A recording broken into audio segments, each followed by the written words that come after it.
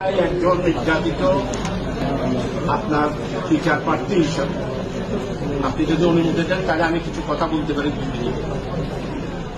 মাননীয় হুজুর আদালত, আপনার এই চেয়ার অত্যন্ত পবিত্র চেয়ার। আল্লাহ তালার আজিমের পরেই আপনাদের এই চেয়ারের মর্যাদা। আমরা মুসলমান হিসাবে খানায় কাবাতে প্রতিদিন আল্লাহ তালা লক্ষ লক্ষ রহমত নাজিল করেন। এরপরেই যে রহমত নাজিল করেন, সেই চেয়ারটা হলো আপনাদের এই চেয়ার আপনি যতক্ষণ ন্যায় বিচার করবেন, ন্যায় বিচার প্রার্থীদের কথা শুনে ন্যায় বিচার করবেন, ততক্ষণ আল্লাহর রহমত, লক্ষ রহমত আপনার চেয়ারের উপর হবে। এই পবিত্র চেয়ারে আপনি বসেছেন। আমি একজন নির্যাতিত কারাবন্দী মানুষ। আজকে উনত্রিশ মাস কারাগারে। দুই হাজার একুশ সালের রমজান মাসে ইফেক্টটি বিনা ওয়ারেন্টে আমাকে গ্রেপ্তার করা হয়। মাননীয় হুজুর আদালত আজকে প্রায় বিশ মাস মৃত্যুদণ্ডের যে কন্ডেম সেল আছে ডেথ কন্ডেম সেল উনিশ মাস আমাকে সেখানে রাখা হয়েছে আমাকে, আমার বাড়ি হচ্ছে সাতকানিয়া মামলা দেওয়া হল হাটহাজারি হাটহাজারির এই মামলাতে আমাকে আট দিন রিমান্ডে নিয়েছে এরপরে সিআইডি আমাকে দুই দিন রিমান্ডে দিয়েছে। আট দিন আমাকে রিমান্ড করেছে। এই সব কিছু করেই আইনি প্রক্রিয়ার পর আমাকে বিশ মাসের মধ্যেই আমাকে মহামান্য হাইকোর্ট এবং মহামান্য অ্যাপিলেট ডিভিশনের ফুল বেঞ্চ আমাকে প্রত্যেকটা মামলায় আমাকে জামিন দিয়েছে।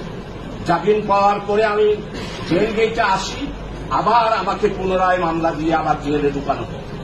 এরপরে মাননীয় আদালত সর্বশেষ আজকে তিরিশ মাসের মধ্যে আমি যে বিশ মাস কন্ডেম ছেড়ে থাকলাম, এটা সংবিধান কোনোদিন অ্যালাউ করে না। আমি দুই দুইবারের পার্লামেন্ট মেম্বার বাংলাদেশ হাউস কমিটির মধ্যে, ইন্ডিয়ার লোকসভার হাউস কাউন্সিল ব্রিটিশ কাউন্সিলের যে এক নম্বর কমিটি তাকে ঠিক সেই রকম একটা কমিটি বাংলাদেশ সংসদীয় কমিটি সেই এক নম্বর কমিটিতে আমি দীর্ঘ পাঁচ বছর দায়িত্ব পালন করেছি। জেল ভিজিটেড হিসাবে দুইবার দায়িত্ব পালন করেছি।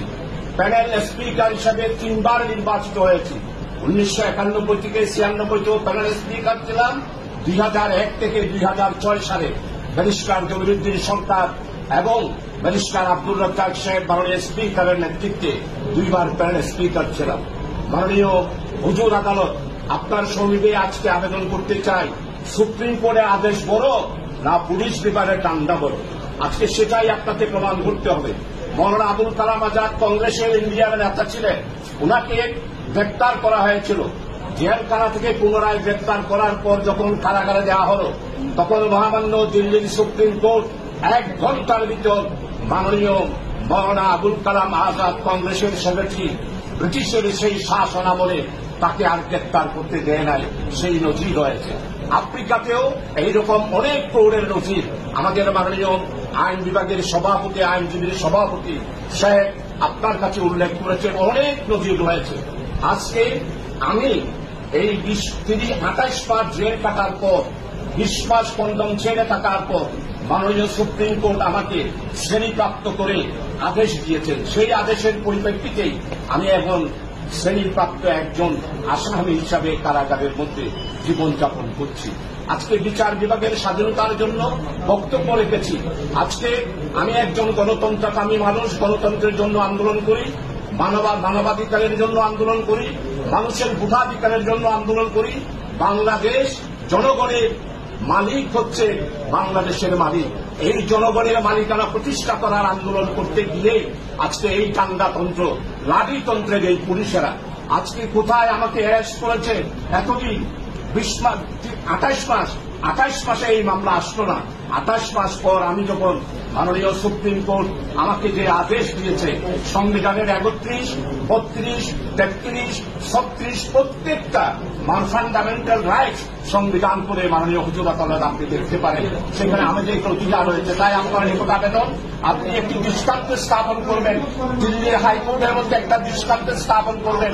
মৌলা আবুল কালাম আজাদকে যেইভাবে রিয়ারেস্ট করার পর মুক্তি দিয়েছে, আপনিও আমাকে আজকে তাদের এই অ্যারেস্টের বিরুদ্ধে আমাকে মুক্তি দেবেন এই আশা করে, এই আবেদন করে হান্ড্রেড সাজেশন রিকোয়েস্ট করে আমার নিজের শেষ করছি।